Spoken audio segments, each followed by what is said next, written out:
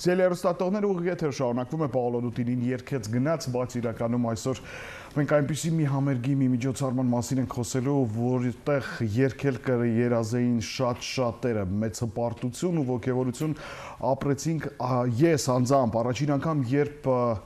այդ միջոցառումը տեղի ունեցավ տարիներ առաջ Հայաստանում նման պրոֆեսիոնալիզմով, նման կադր, նման կազմակերպվածություն ուղակի մաստեր կլասեր հետագա տարիների համար մեր բոլոր այլ միջոցառումների համար։ Իհարկե ուրիշ հարց է, որ դա ոչինչ չփոխեց, միևնույն է այն մնաց միակը եւ լավագույնը, բայց դե հուսանք, հուսանք, ուշ լինի, ուշ լինի, ասում են։ Մենք ունենք հյուրեր, մեր հյուրերն են։ Գոհար սիմֆոնիկ նվագախմբի եւ երգչախմբի գլխավոր դիրիժոր Նատալի Գալստյանը, բարև ձեզ։ Domino Production ընկերության տնօրեն Աշոտ Արաքելյանը եւ հենց այդ վերոհի հիշյալ համերգն էլ կազմակերպել էին հենց Domino Production-ի անդամները եւ սոլիստ, աստորեն արդեն Գոհար սիմֆոնիկ նվագախմբի մեր լավանկեր, մեր հրաշալի, լավ, սիրելի արտիստ եւ քիչ Վարդան Վարդան Բադալյանը։ Այո, բարի լույս։ Բարի լույս։ Բարով եք եկել։ Սկսենք, սկսենք երևի Աշոտ ձեզանից, խնդրեմ պատմեք ինչը տեղի ունեցել, ինչ մեծ միջոցառում է տեղի ունեցել, որի մասին մենք ուզում ենք այսօր եւս մեկ անգամ խոսել ու կիսվել տպավորություններով։ Որին շատերը անհամբերությամբ սպասում էին, որովհետեւ Գոհարը իր ելույթներով ամբողջ աշխարհում, հա, այդ ելույթները, այս շրջագայություններով, իսկական մաքրամաքուր հայկական երաժշտությունը վերջապես ցույց տալով ամբողջ աշխարհին ցնցում է իր յուրաքանչյուր համերգի ժամանակը։ Շնորհակալ եմ լավ խոսքերի համար։ Անշուշտ 2012 թվականից Լատինական Ամերիկայի մեր ամերիկյան շրջագայությունից հետո Գոհարը արդեն 3 տարի համերգային գործունեությամբ չէր զբաղվում, բայց փորձերը շարունակվում էին, աշխատում էին, բայց համերգներ չէր լինում, քանի որ մեր շատ սիրելի մայստրոն Սեպու Աբգարյանը առողջական խնդիրներ ունեցավ, այնուհետև նաև նրան կորցրեցինք բայց քանի որ այս տարին խորհրդանշական տարի էր 100-ամյակի հետ կապված, Գոհարը որոշեց հենց Սփյուռքի այսպես ասած մայրաքաղաքի, հա, Լիբանանում ներկայացնել 100 խորհրդաշական երկ 100-ամյակի հետ կապված եւ 4 համերգներ տեղ ունեցան, որոնց ընդհանուր բոլոր համերգային ծրագրերը տարբեր էին եւ ընդհանուր այդ 100 երկը բաժանելով 4 համերգների մեջ իրականացրեցինք այդ համերգները այ 100 երկից արդեն երևի Նատալի հետ խոսենք ինչպես էր ընտրվել ծրագիրը ինչպես կազմվեց 100 ստեղծագործություն եւ դրանց համադրումը ու բաժանումը ըստ համերգային օրերի ինչպես կատարվեց Ինչպես հայտնի է Գոհարի գործունեությունը առհասարակ շատ լայն եւ ինքը իր մեջ ամփոփում է հայ ժողովրդի կարելի ասել պատմական տարաժանր բնույթի երկեր են եւ իհարկե այստեղ կան եւ ժողովրդական եւ աշուղական, գուսանական եւ հայրենասիրական բնականաբար որպես հայ մարդու կերպար ներառել էինք բոլոր 4 համերգների մեջ այս բոլոր ժանրերի ստեղծագործություններ կային իհարկե 4 համերգների մեջ կրկնվող գործեր Օրինակ դլեյ ամանը չէր կարող չհնչել բոլոր 4 օրերին կամ կային այնպիսի ստեղծագործություններ, որոնցով պիտի ավարտվեր համերգը եւ բայց քնարական, ժողովրդական այդ տարբեր բնույթի գործերը եւ բաշխված էին բնականաբար ըստ երկչի իր կատարողական յուրաքանչյուրը ունի իր մոտեցումը, իր կատարողական յուրահատուկ մոտեցումը եւ այդմ նաեւ կազմվել էր նախորդ համերգի տեսանյութից եթե չեմ սխալվում որ ստեղծագործություններ դդմաջազներ հնչում թե ոչ Վարդան Բադալյանը որպես հանդիսատես է երևում կադրում ես Երևանյան համերգի Երևանյան համերգի ես կադրերը անգիր էինք սովորում արդեն անգիր գիտենք բոլոր կադրերը իսկ հիմա դու դու նվագում ես իսկ այժմ բայց այդ ժամանակ պատկերացնում էիր որ մի օր դու որպես մենակատար ես հանդես գալու այս նույն համերգի ժամանակ։ Կարելի ասել երազում էլ էի։ Իրականում ինձ համար այդ առաջինն է Գոհարի հետ համագործակցությունը եւ շատ ուրախ եմ, շատ ողջորված եմ ցանկացած երկիչի համար ինձ թվում է մեծ պատիվ է նման նվագախմբի հետ ելույթ ունենալ նույն բեմում եւ նման նման տեխնիկայով, նման բեմում, նման չգիտեմ Վարդան քիչ առաջ երբ որ զրուցում էինք կազմակերպվածության ու բեմական մասշտաբների մասին, երբ որ դու խոսեցիր, շատերը երազում են մեր արտիստներից այստեղ իրենց գործնական հաջողությունները հաշվի առնելով Եվրատեսիլյան բեմի մասին դու մի տեսակ բավարարված հայացքով ես եկել այն բոլոր երբեք չեմ ուզում մասնակցել, բայց առավելևս հիմա ժողովրդական երգով բայց կարելի ասել իմ ինչքան որ եղել եմ տարբեր բեմերում, եթե ամենամեծ եւ ամենաշքեղ, ամենա մասշտաբային լուսավոր բեմներ։ Իրականում թույլ նաև- արտահայտվել, Խնդրեմ։ ի- իսկապես հեքիաթում ես քեզ զգում։ Եվ անդադար, ասենք, մենք միջև համերգները փորձեր էինք անում 5 ժամ, 6 ժամ, այնքան լավ էր, այնքան բավարարված էինք, որ չէինք ուզում փորձերը վերջանան, այսինքն ընդհանրապես հոգնածություն եւ ձանձրանալ չկար։ Հիմա ձեր պատմածով մենք գնում ենք այդ իրավիճակի մեջ։ Իրականում մենք նաև այստեղ նստած երբեք հենց այնպես բարեհաճ դեմքով չենք ընդունում մեր հյուրերին ու երբեք հենց այնպես չենք շռայլում խոսքեր դրական, ուսկն եթե մենք այդպիսի կարծիք չունենք, նվազագույնը առավելագույնը լռում ենք։ Իսկ եթե խոսում ենք, ուրեմն տպավորված ենք։ Աշոտ տեխնիկական կողմի մասին անընդհատ խոսում է, իհարկե բովանդակությունը չափազանց կարևոր է, բայց մեր արտիստները, նկարահանող խմբերը միշտ երազում են այդպիսի հնարավորությունների մասին։ Կպատմեք 4 օրվա համերգներին ին- ին- ինչպես է եղել, ինչ հնարավորություններ է ստեղծվել այս անգամ։ Դուք ասացիք, որ Եվրատեսիլյան բեմ այս բեմը արտակը ոչինչով չէր զիջում Եվրատեսիլյան, որովհետև բացի նրանից իր մասշտաբայնությունից, եթե օրինակ բեմի մեծությունը միայն 60 մետր էր, դուք պատկերացեք դա ֆուտբոլի դաշտի կեսից ավելին։ Վարդանը պատմում ես, մինչև ելույթը պետք է վազքով գնաս, որ տեղավորվես։ արտիստները պարը բոլորը տարածության մեջ դեք շփոթվում են որտեղ ոնց այնտեղ այս անգամ նոխաուն հա համերգի դա այդ LED էկրաններն էին որ 450 քառակուսի մետր շարժական պատտվող դիրքերը փոխող էկրաններ էին 5 տեսակի ու նաև հատակին ու այդ ամբողջ 100 երկերը ընդհանուր 140 ա եղել ուղղակի երկեր կային որոնք պոպուլի տեսքով էին 140 այդ կատարումները զուգորդվում էին պատկերներով, անիմացիաներով, շոուներով։ Դա երկրորդը, երրորդը դա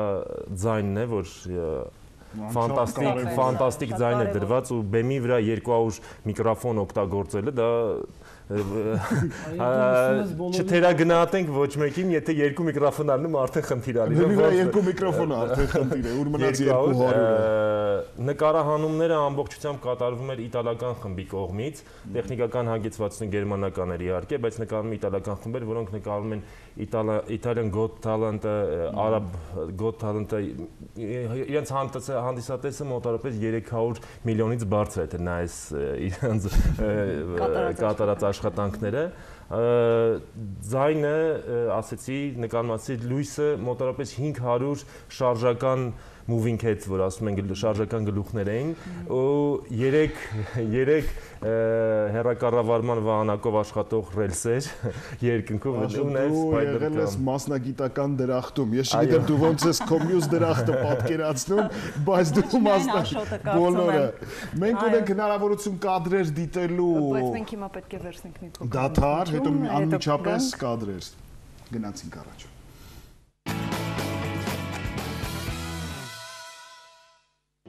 Հոկտեմբերի 29-ից նոյեմբերի 1-ն անմոռանալի են Լիբանանահայության համար։ Գոհար սիմֆոնիկ նվագախումբը եւ երգչախումբը Լիբանանի Ֆորմ դե Բեյրութ սրահում 4 օր շարունակ հնչեցնում էին բոլոր ժամանակների հայկական սիրված երգերը։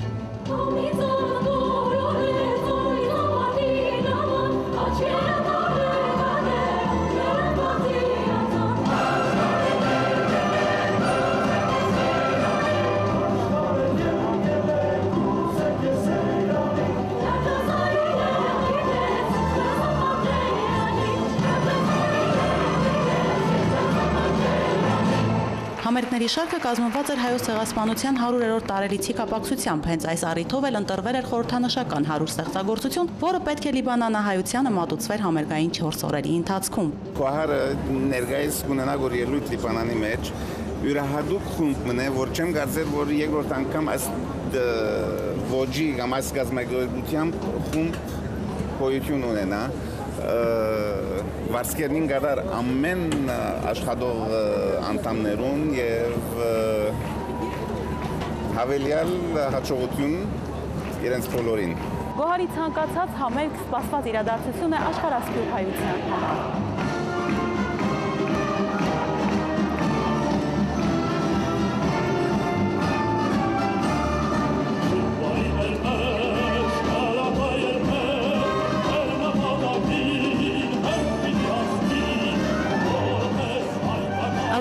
Միջև հայրենասիրական ժողովրդականից միջև ռազմաշունչ, հատուկ եւ շատ մանրամասն ընտրված երկհացանկիցած համերգային ծրագիրը եզակի էր նաեւ տեխնիկական առումով։ Գերհագեցած լուսային ու գունային գեղեցիկ էֆեկտներ, որը կազմված էր ըստ ստեղծագործության թեմայի։ Կարճատև դաթարից հետո Գոհարի համերգային հաղթարշավը սկսված է։ Լիբանանյան համերգի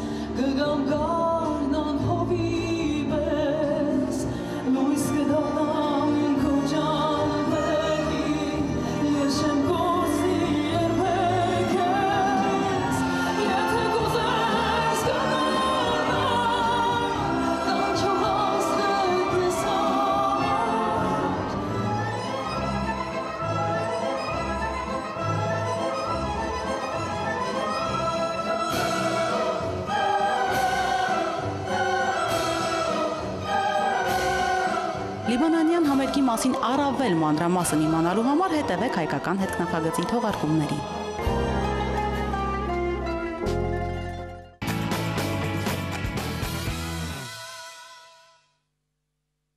Շնորհակալություն Ռուզաննա Ղազարյանին, մեր գործընկերուհուն եւ մեր շատ սիրելի ընկերոջը, որ այսպեսի գեղեցիկ տեսանյութ էր պատրաստել եւ մեզ էլ տեղեկացրեց ինչ է կատարվել շքեղ էր իհարկե։ Ու մենք ինչ թաքցնենք նախանձում ենք։ Այո,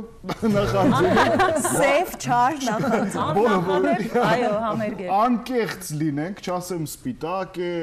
Չէ, վատ չար Ու նախանձում։ մենք էլ ենք ուզում լինել այդ բեմին շատ մոտ, այդ երաժշտությունը, այդ ստեղծագործությունը։ Մի բան հասկացա, չնվազեցնելով մեր արտիստների նշանակությունը, որակը եւ այլն, առավել եւս Վարդանի, որ, որ ոչ թե որպես ընկեր եմ գնահատում, այլ որպես մասնագետ իր գործի, շատ բարձր, բայց այդպիսի աջակցություն ունենալ երկչախմբի եւ նվագախմբի ինչ որտեղ ես էլ կուտվեի այդ համակարգի ժամանակ իմ մոտ այդպիսի զգացողություն Բացի նվագախմբի ավելի պրոֆեսիոնալ բեմից դուրս սկսած հյուրանոցից, սկսած սնունդից, սկսած ճանապ ամեն ինչ այնպես էր կազմակերպված որ քեզ մնում էր միայն ժամանակին բեմի մոտ լինել, միկրոֆոնը վերցնել ու երգել։ Գիտես, պատճառ չկա։ Մնացած ամեն ինչ հասկանում եմ, բայց չնվազեցնենք Domino Production-ի դերը, քանի որ մենք մեր կյանքում մի փոքրիկ շրջան պատիվ ենք ունեցել համագործակցելու, դա եղել է առաջինը եւ վերջինը Աշոտ ջան ցավոք, չէ, ոչ թե դոմինոյի հետ համագործակցությունը, այլ այն պահը, երբ դու քեզ արտիստ ես զգում, երբ դու քեզ զգում ես, որ գիտես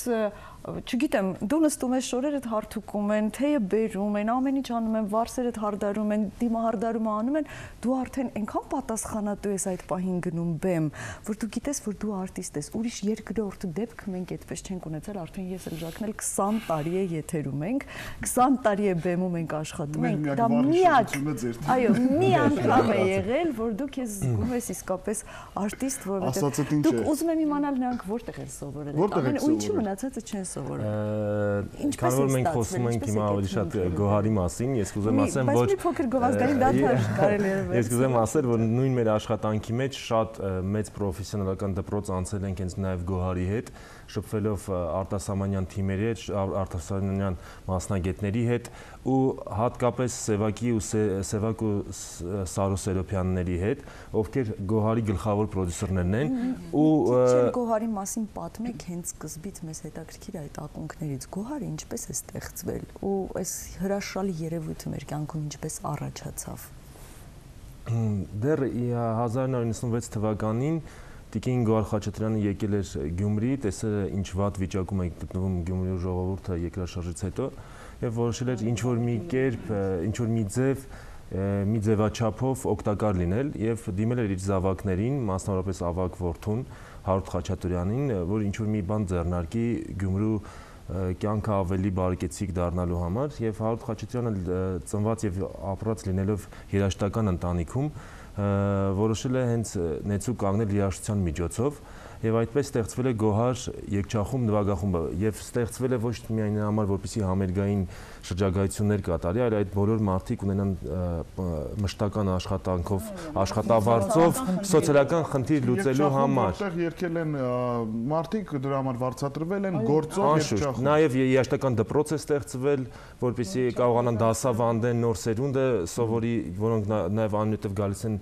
սիմֆոնիկ եւ 2002 թվականից արդեն խումբը որպես այդպեսին, որ կայացած է եղել, սկսել են համերգային շրջագայություններ ամբողջ աշխարհով մեկ։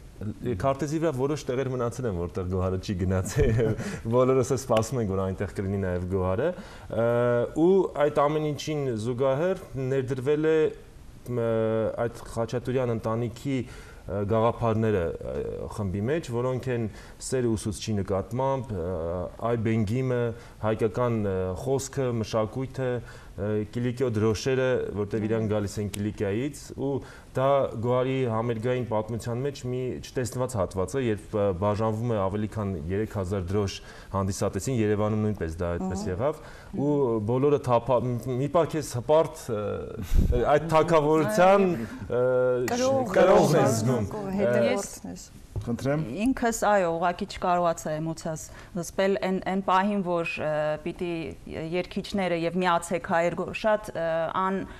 ան բացատրելի զգացողություն է, երբ տեսնում ես հազարավոր հայեր շուրջդ եւ ինքդ էլ միացեք հայեր, իրոք բացի առաքելությունը, որը իրապես անգնահատելի է հայկական երաժշտության մշակույթի տարածումը, լուսաբանումը եւ կրթելը ժողովրդին այդ ամեն ինչի հետ մեկտեղ իհարկե համախմբելը հայերին, ինչը ինձ համար շատ-շատ կարևոր է այսօր հատկապես, որովհետև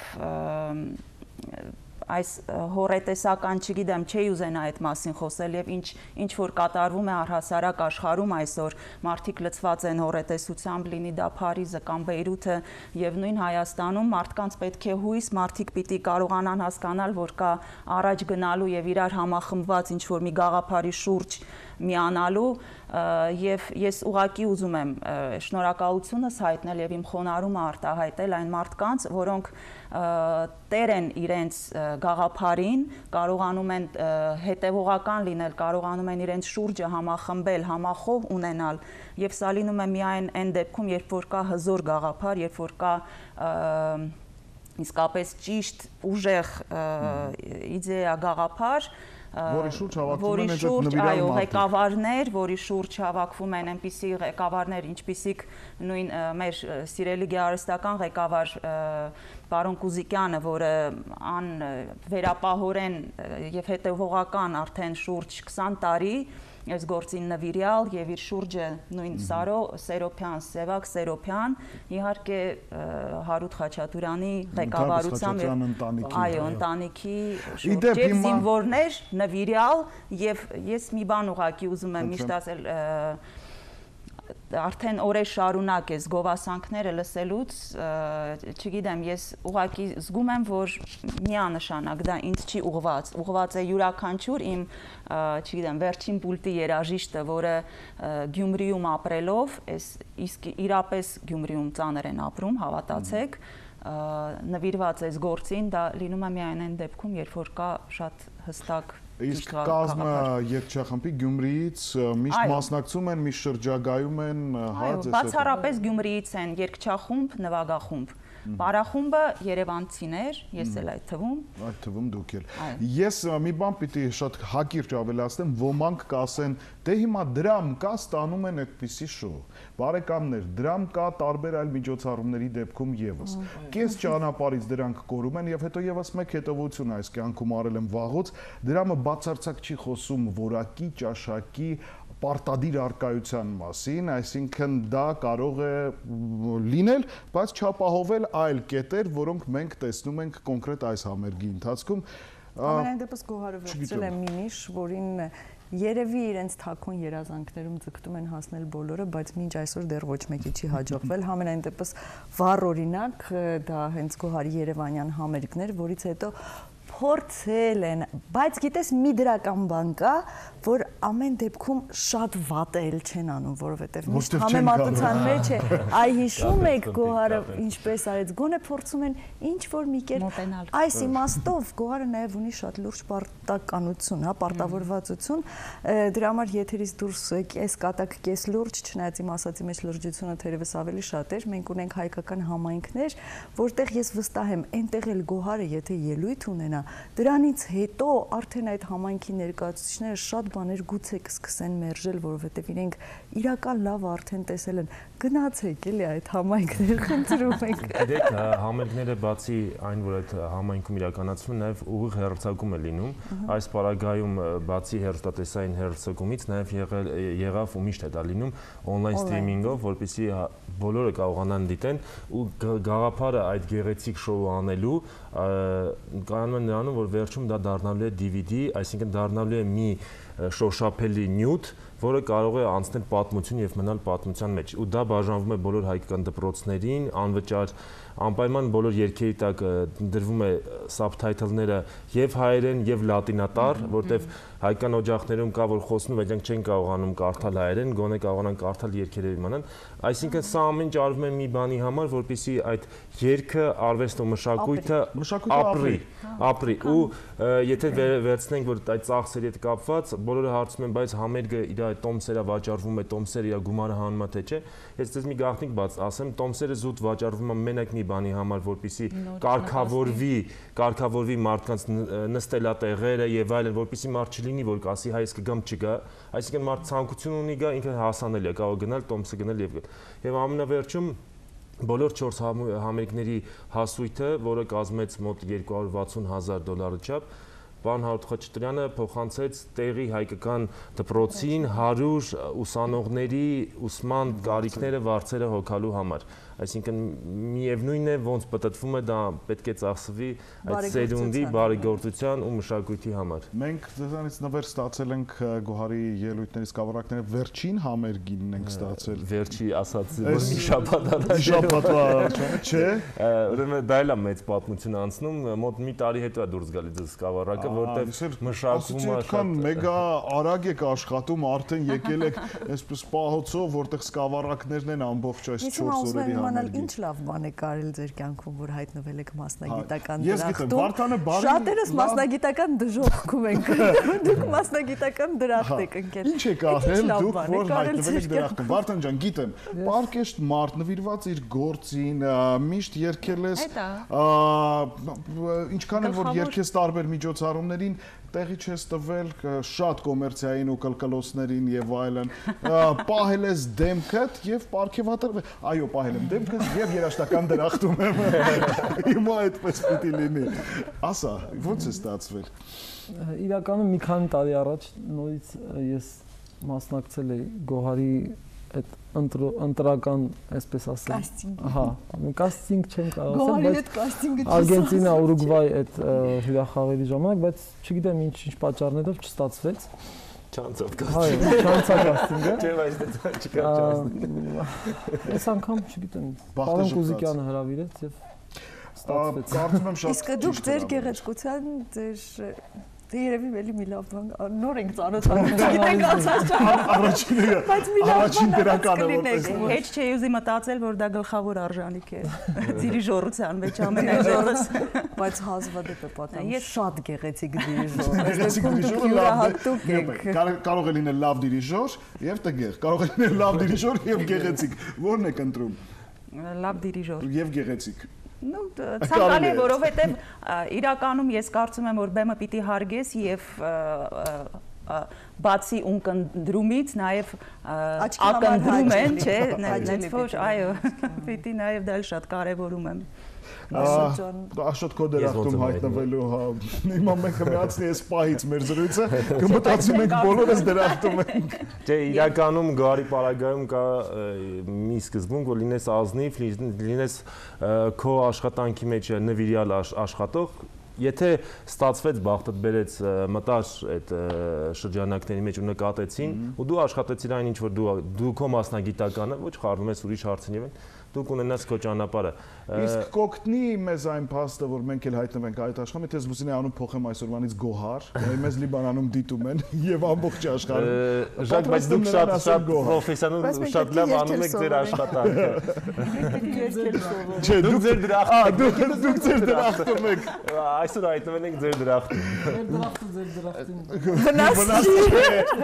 Շնորհակալություն, Վնաս չի։ որ եկաք։ Ձեզ ստեղծագործական հաջողություններ։ Անչափ ուրախ ենք շփվելու, կիսվելու այդ զգացողությունները, ինչ որ դուք հիմա ապրել եք ու դեռ թարմ են, փոխանցվեցին ալիքով նաև մեզ։ Ես դեռ չեմ դիտել համերգից ելույթներ, անպայման պիտի դիտեմ, մեծագույն հաճույք ստանամ, նույնն էլ առաջարկում եմ մեր հեռուստատողներին, ովքեր բաց թողել են։ Ընդհանրապես հետևեք գոհարի գործունեությանը ու անպայման ներկա գտնվեք այդ համերգներին, եթե կա այդպիսի հնարավորություն, որովհետև սա մի լրիվ ուրիշ աշխարհ է, նույնիսկ եթերով երբ դու դիտում ես, այսպես շակ հաղթում ես, որովհետև դա հայկական է։ Դու հայկական արյունդ սկսում է եռալ այսպես։ Իսկ դա շատ կարևոր է եւ դա շատ օգտակար է նաեւ օրգանիզմին։ Եվ վերջում նորից հիշեցնեմ, որ մեր հյուրերն էին Նատալի Գալստյանը, Գոհար սիմֆոնիկ նվագախմբի եւ երգչախմբի գլխավոր դիրիժորը, Աշոտ Արաքելյանը Domino Production ընկերության տնօրեն եւ սոլիստ երգիչը մեր լավ ընկերը Վարդան Բադալյանը, բարով եկեք ձեզ շատ լավ օր եմ մաղթում։ Սելիարուստատողներ մենք դեր վերադառնանք։ Շնորհակալություն։